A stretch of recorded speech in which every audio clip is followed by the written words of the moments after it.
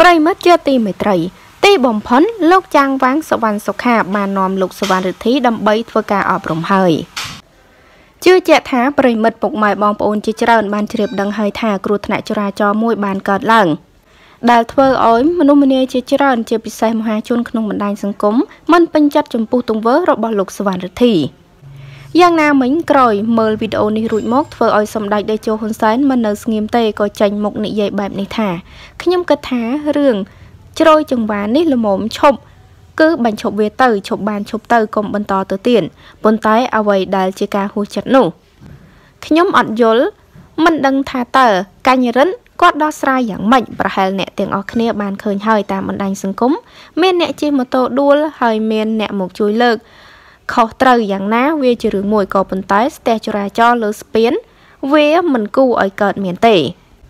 ការជួយគ្នា គឺជារឿងចាំបាច់តែអ្វីដែលជារឿងឆ្គងគឺត្រង់ថា អ្នកសុំទោសមិនបានសុំទោសប៉ូលីសឯណាគាត់សុំទោសអ្នកកសែតតើអ្នកកសែតនឹងមានសិទ្ធិអីគាត់សំដាច់បន្តថារឿងយ៉ាងណាក៏ដោយ តែរឿងវាអត់សមហេតុសមផលទេ នៅការប្រើពាក្យសម្ដីបែបនេះ មកលើ ខ្លួនបើខ្លួនជាប៉ូលីសខ្ញុំមិនថាទេប៉ុន្តែខ្លួនគ្រាន់តែជាអ្នកមានទូរស័ព្ទមួយឡៃទៅហើយសម្ដីតែប៉ុណ្ណឹងអញ្ចឹងបង្កើតបានមួយរឿងមួយឈុតធំទៅប៉ុន្តែអ្នកខ្លះក៏មានមតិជ្រុលហួសដែរថាគួរតែលុបចោលអាញាបានស្អីស្អីអ្នកខ្លះរហូតដល់ថាសុំឲ្យព្រះរាជអាញាធ្វើការចោទប្រកាន់វាអត់ត្រូវទេឈប់បានឈប់ទៅមិនតន់អស់ទេស្រាប់តែម្សិលមិញនេះ គេក៏បានឃើញឯកឧត្តមផុសសវណ្ណប្រតិភូរាជរដ្ឋាភិបាលកម្ពុជាទទួលបន្ទុក ជាអគ្គនាយកនៃអគ្គនាយកដ្ឋានព័ត៌មាន បានបង្ហោះរូបភាពប៉ុន្មានសន្លឹករួចប្រាប់ថា លោកស្រីកឹមសុធេហៅលីណា ចាងវាង អង្គភាពគេហទំព័រ www.st.tvsb.com លោកសវណ្ណសុខា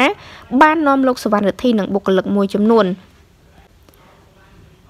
មកសុំឲ្យពំនាំនៅ ពាក្យសុំអត់ឱនអភ័យទោសពីឯកឧត្តមរដ្ឋមន្ត្រីនិងថ្នាក់ដឹកនាំក្រសួងព័ត៌មានក៏ដូចជារៀមច្បងជាអ្នកសារព័ត៌មានចំពោះការប្រព្រឹត្តជ្រុះជ្រុលពីបន្ទាត់វិជាជីវៈនាពេលកន្លងទៅចាពេលនេះលោកស្វណ្ណរិទ្ធីក៏ទទួលស្គាល់កំហុសរបស់គាត់ហើយដូច្នេះសូមបងប្អូនកុំបន្តរិះគន់គាត់ទៀតអីគឺគាត់នឹងយល់កាន់តែច្រើនអំពីទួនាទីជាអ្នកសារព័ត៌មាន ហើយគាត់នឹងកែប្រែអ្វីដែលជាកំហុសឆ្គងរបស់គាត់ឲ្យកាន់តែល្អ